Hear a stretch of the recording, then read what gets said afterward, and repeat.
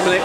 So today, 20th of, July, fantastic day. Mr. and Mrs. Armstrong, what would you like to say, please? Congratulations, the pair of you, and all the best for the future.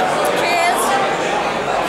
Right, while we've got you, any words of wisdom? Um, not much. They're perfect, are they? Yeah. Words of wisdom? Thank you.